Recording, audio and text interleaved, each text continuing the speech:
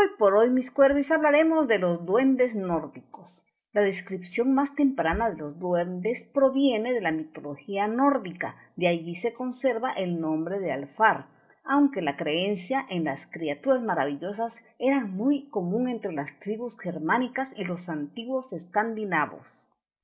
Los duendes parecen compartir muchas características con los seres humanos, con la diferencia de que aquellos son siempre muy hermosos, suelen eludirse a las criaturas como seres semidivinos asociados a la fertilidad y al culto de los antepasados. Se los relaciona con la creencia animista y espiritista de la naturaleza y de los difuntos, muy común en casi todas las religiones humanas. Allí se remonta la vieja creencia nórdica en espíritus protectores.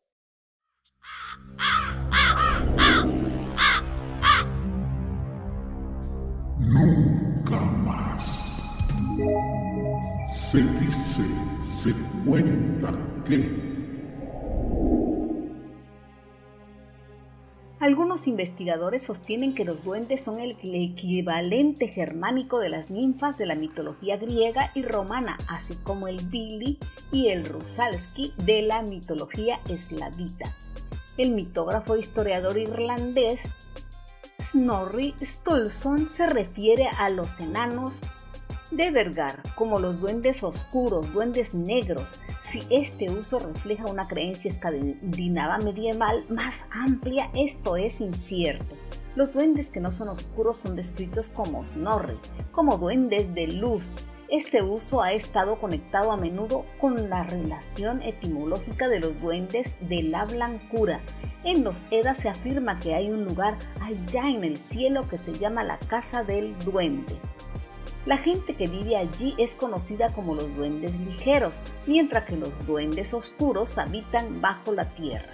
La certeza de la existencia de los duendes en la mitología nórdica, además de la labor de Snorri, se funda en la poesía y las sagas legendarias. Aquí los duendes aparecen vinculados particularmente con la frase Esnir y los duendes, que significa todos los dioses. Además de estos seres mágicos, han sido comparados o identificados con los Vanir, los dioses nórdicos de la fertilidad, por algunos eruditos. Sin embargo, en el abismal, los refranes de todos los sabios los duendes son considerados muy ajenos, por lo tanto existen diferentes versiones sobre su procedencia y su función natural. Posiblemente tales palabras designan a la diferencia del estatus que existen entre los dioses principales de la fertilidad y los de menor importancia, los duendes.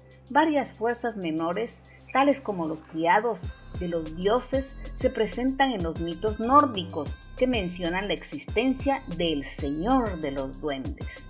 Algunos especulan Vanir y los duendes pertenecen a una religión nórdica anterior a la edad del bronce escandinava y que fueron sustituidos más adelante por los dioses principales. Otras notables investigaciones, especialmente las de George Dunesil, discuten que el Vanir fuera uno de los dioses de los nombres nórdicos comunes y que el Snir fuera el dios de la casta de sacerdotes y guerreros. Se refiere a los enanos de Vergar, como los duendes oscuros, si este es el uso que se refleja en las creencias escandinavas medieval más amplia, pero esto es incierto. Los duendes que no son oscuros son descritos por Snorri como duendes de luz. Este uso ha estado conectado a menudo con la relación etimológica de los duendes de la blancura que ya mencioné. En los Edas se afirma que hay un lugar en el cielo que se llama la casa del duende. La gente que vive allí es conocida como los duendes ligeros, mientras que los duendes oscuros ya se ha dicho que habitan bajo tierra. Posiblemente tales palabras designan una diferencia en el estatus que existen entre los dioses principales de la fertilidad, el Vanir, y los menores de importancia como los duendes.